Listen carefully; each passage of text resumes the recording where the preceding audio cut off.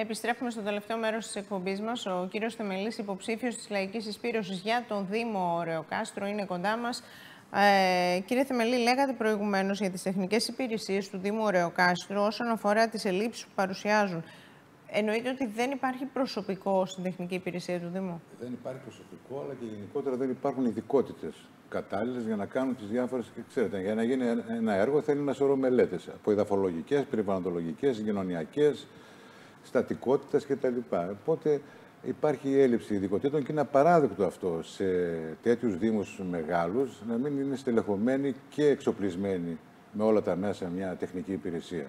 Τι στερεί δηλαδή στην ουσία, ποιες ευκαιρίες στερεί από το Δήμο αυτό το γεγονός; Το πρώτο είναι να ελαττώσει το, το κόστος των, των μελετών. Και από εκεί και πέρα να εξοικονομήσει λεφτά για αυτά καθ' αυτά τα έργα. Να μην δίδεται ένα ποσοστό του 30% του, του προπολογισμού των έργων στις μελέτες. Θα ελαττωθεί. Και πιστεύουμε ότι θα είναι και η αυτεπιστασία του Δήμου θα βγαίνει και καλύτερο το έργο. Εγγυάται εννοείται την, απο... την καλύτερη κατασκευή, ναι, την αποτελεσματικότερη. Ε, ποιοτικά δηλαδή εννοείται. Ναι. Το αποτέλεσμα. Υπάρχουν παραδείγματα έργων που θα μπορούσαν να έχουν προχωρήσει σήμερα, αν ίσχυε το καθεστώς που λέτε, μέσα από το υπάρχον δυναμικό; Κυκλική κόμβη σίγουρα. Ακόμα και σχολεία, τουλάχιστον συμπληρωματικά, με πρόσθετες αίθουσες, αν και αυτό δεν είναι το καλύτερο. Ε, γέφυρες στην Καλυθέα και σαφώς και η συντήρηση και των δρόμων. Όλα αυτά θα μπορούσαν να προχωρήσουν καλύτερα με μια στελεχωμένη κατάλληλα τεχνική υπηρεσία του Δήμου. Η γέφυρα στην Καλυθέα σε τι κατάσταση βρίσκεται, τι έχει; Δεν θέλουν φτιάξιμο. Είναι χορούδα με, την, με το πεντάλοφο, δεν έχουν... Και αυτό χρόνια σχεδιάζεται και δεν προχωράει το έργο. Ε, και περιμένουμε τώρα βέβαια να γίνουν τα εγγένεια της γέφυρας της Νέας Φιλαδέλφιας, η οποία είναι ένα έργο που χρονοτριβεί εδώ και 10 χρόνια. Και μην συζητήσουμε για το κόστος, είναι δυσβάσταχτο. Αυτά βέβαια τα έργα θα έπρεπε κανονικά να τα αναλαμβάνει το κράτος. Εμεί είχαμε κάνει και μια σκέψη ότι θα μπορούσε να διεκδικήσει ο Δήμος και κάποια ευρωπαϊκά κονδύλια για τέτοια έργα, που είναι μάλιστα και σε ιστορικές περιοχές, όπως είναι ο Γαλλικός Ποταμός, και περιβαλλοντολογικά ο Γαλλικός ποταμός είναι υποβαθμισμένος, θα μπορούσε λοιπόν να ζητήσει κάποια κονδύλια για να προχωρήσουν έργα τέτοιας ε, μορφής και σημασίας. Μέσα από προγράμματα πάντα όμως. Και μέσα από προγράμματα, ναι. Και ευρωπαϊκά προγράμματα. Είπαμε, αυτά, αυτά είναι λεφτά των εργαζόμενων της Ευρώπης. Δεν είναι κάτι που μας το χαρίζουν. Ε, δίνονται για να γίνονται κάποια... Τώρα το θέμα είναι ποια προτεραιότητα δίνουμε σε, σε ποια έργα. Εκεί είναι το θέμα. Η οδοποιία δεν είναι σημαντικά έργα, κύριε Θεμελή. Γιατί μιλάτε και, και για κόμβους, κόμβοι που θα έπρεπε να γίνουν κατά τη γνώμη σας, που υπάρχουν ε, ανάγκη, ανάγκες για κόμβους. Σαφώς και είναι η οδοποιία και η αγροτική οδοποιία, αλλά δεν υπάρχουν τα αντίστοιχα κονδύλια. Είναι σίγουρο ότι χρειάζονται περίπου 8 με 9 εκατομμύρια για την οδοποιία γενικά στο Δήμο και δίνεται ένα με 1,5 αυτά από τους κεντρικούς αυτοτελείς πόρους. Για συντήρηση λέτε τώρα, όχι για να γίνουν νέα έργα. Για συντήρηση, για ναι, όχι για να ναι. γίνουν νέοι δρόμοι. Ναι, κάτι που πρέπει και αυτό να γίνει. Γιατί, νέοι δρόμοι που θα έπρεπε να γίνουν, πού απαιτούνται νέοι δρόμοι. Απαιτούνται πρώτα πρώτα για να συνδεθεί κατάλληλα η έδρα του Δήμου με τα δημοτικά διαμερίσματα. Αν θέλει να πάει κανείς το χειμώνα από το Ορόκαστο στο Μελισσοχώρι, κινδυνεύει. Ξέρετε, δεν υπάρχει καλός δρόμος. Αυτό το ίδιο γίνεται και πριν σας είπα ότι η Νοχορούδα συγκοινωνιακά ε, είναι πιο κοντά στα Διαβατά και στην Θεσσαλονίκη παρά στο Ρόκαστρο. Πιο εύκολα πάει κανείς από την Εχορούδα Θεσσαλονίκη παρά έρχεται στο Ρόκαστρο. Ναι, υπάρχουν πάρα πολλά παραδείγματα ε, ε, τέτοια που μας αναφέρετε και στα ρεπορτάζ το έχουμε δει και εμείς. Άνθρωποι που κατεβαίνουν στη Θεσσαλονίκη για να επιστρέψουν μετά σε κάποιο άλλο ναι. ε, διαμέρισμα, τοπικό διαμέρισμα του Δήμου Ρεοκάστρου. γιατί έτσι μπορούμε έχουμε... μόνο να εξυπηρετηθούν με τις συγκοινωνίες. Δεν έχουμε δημοτικά μέσα για συγκοινωνία. Ναι. Ούτε... Χρησιμοποιώντας τις γραμμές του ΟΑΣΤ όλα αυτά. Ούτε μικρά λεωφορεία. Δεν έχω. Κάτι που θα, και αυτό έπρεπε να μπει σε μια προοπτική, να δούμε να αποκτήσει κάποια μέσα. Δηλαδή είναι και πολύ δυσάρεστο. Ακόμα και οι άνθρωποι που θέλουν να πάνε στα νεκροταφεία δεν έχουν μέσο να πάνε. Ή πάνε και πρέπει να γυρίσουν με τα πόδια ή να μείνουν εκεί με ζέστη και με κρύο. Ο ΑΣ έχει ελάχιστα δρομολόγια. Γνωρίζετε και την κατάσταση των λεωφορείων του ΟΑΣ. η τακτικότητα των δρομολογίων. Αν θέλει κανείς να κατέβει να ανέβει στη Θεσσαλονίκη, θέλει περίπου 2 με 2,5 ώρες από το Ρόκαστρο. Μια μέρα ολόκληρη δηλαδή ναι. είναι η διαδικασία. Πραγματικά, αν δεν έχει κάποιο ιδιωτικό ε, αυτοκίνητο, ιδιωτικό μέσο.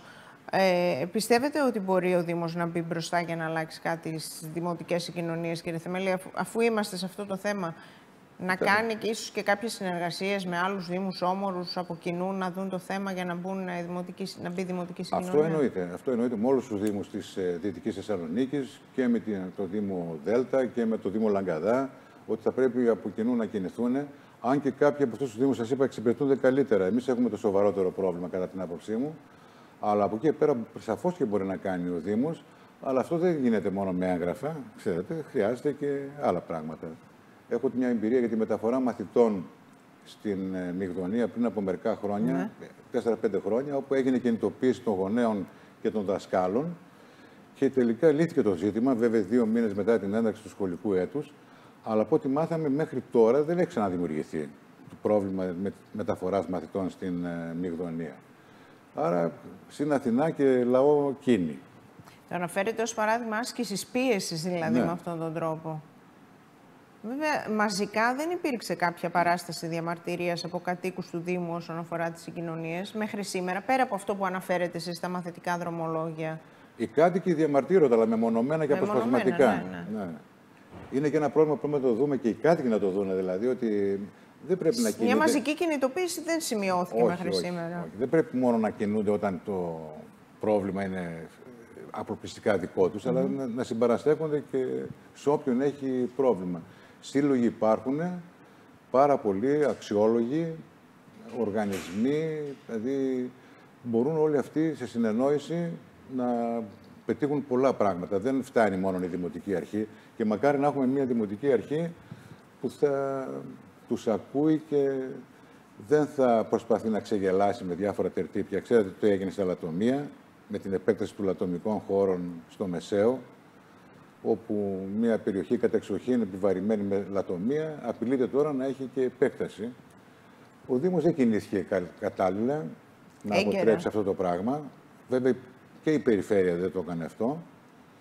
Από εκεί και πέρα είναι θέμα βέβαια των κατοίκων των Σήμερα που μιλάμε έχει αλλάξει κάτι κύριε Θεμέλη; Όχι, θα γίνει η επέκταση. Δεν έχει αποτραπεί η απόφαση, ούτε έχει, έχει αναιρεθεί. Έχει παγώσει; Έχει πάρει μόνο μία μικρή χρονικά αναστολή λόγω ασφαλιστικών μέτρων. Ναι. Αυτό υποθέτω μέχρι το καλοκαίρι θα έχουν εκδικαστεί.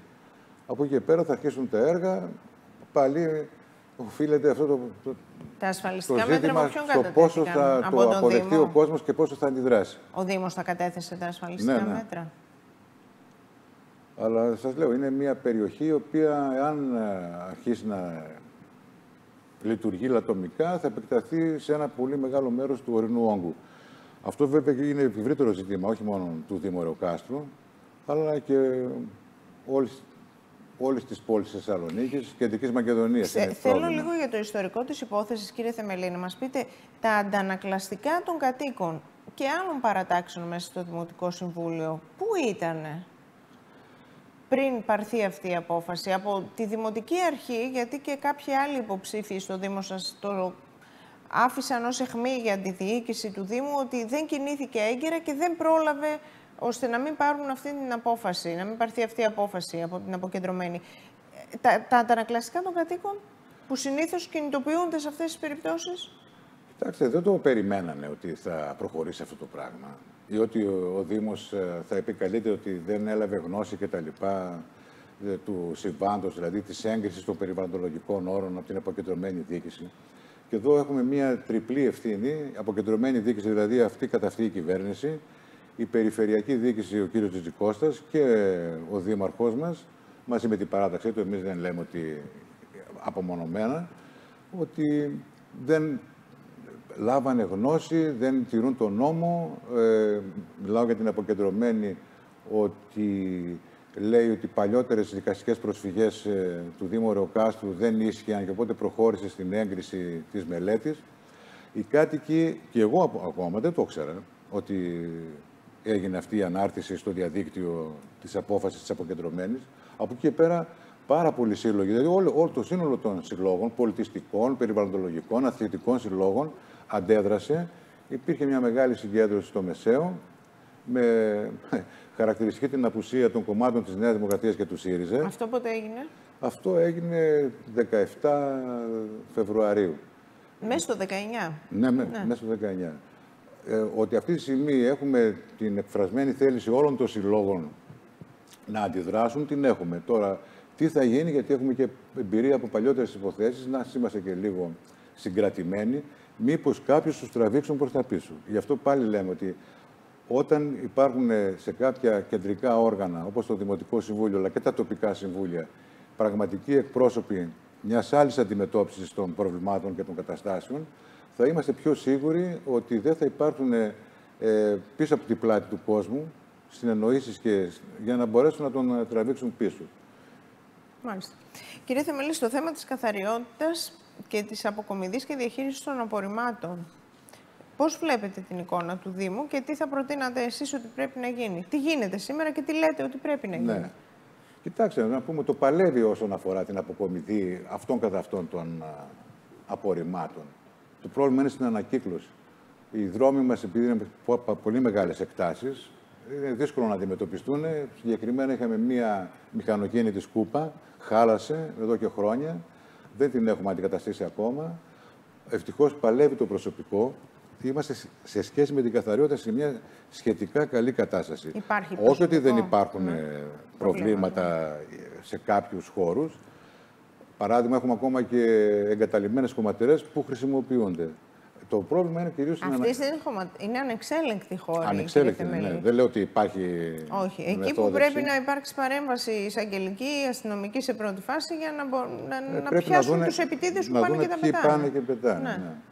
Αλλά η ανακύκλωση είναι το μεγάλο πρόβλημα. Δηλαδή, έπρεπε να αρχίσει από τα σχολιά και για την εκπαίδευση των μαθητών, όπου επειδή συζητήσαμε με, τον, με την Ένωση Γονέων, θα είχαν και σοβαρά έσοδα τα σχολεία από αυτό. Δεν υπάρχει δηλαδή διακεκριμένη ανακύκλωση και μάθηση των ε, παιδιών. Ε, είναι δεδομένο ότι έχουμε λίγους μπλε κάδους, οι οποίοι καμιά φορά υπερχιλίζουν και οι άλλοι πετάνε τα σκουπίδια, ο κόσμος δηλαδή το πετάει στους απλούς κάδους. Ε, ότι δεν υπάρχει τρόπος να συμπιέζονται κάποιο, πώς να το πω, κάποιο, κάποιος χώρος, εκτός από τους συμπιεζόμενους κάδους, οι οποίοι και αυτοί είναι οι περισσότεροι χαλασμένοι. Περιμένουμε τώρα να λειτουργήσουν τρία πράσινα σημεία.